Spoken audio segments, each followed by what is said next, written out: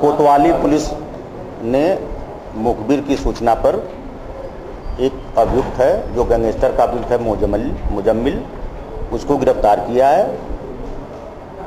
इनसे इनके दो साथियों को और गिरफ़्तार किया गया परमिंदर और इकबाल। इकबाल को।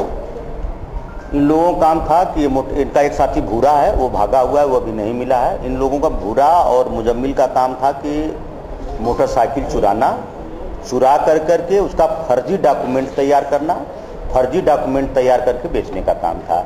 ये पूरा एक अंतर्राज्यीय अंतर्राज्यीय गिरोह है, जो कि दिल्ली, हरियाणा, अपने जनपद सहारनपुर तथा उत्तराखंड, इन चार जनपदों से ज़्यादातर इन्होंने मोटरसाइकिल चुराई है और उन मोटरसाइकिल को चुरा करके उसका फर्जी डॉक्यूमेंट तैयार कर करके लोग बेचते